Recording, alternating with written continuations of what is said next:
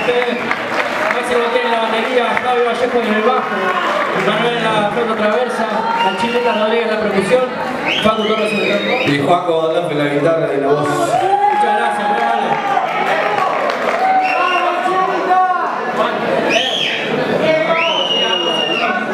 Bueno, vamos a hacer un tema más entonces. Nos vamos. Muchas gracias. Esa es la mía. Vamos a tener los folletitos. Pero esa quiere subirse. ¿Quién?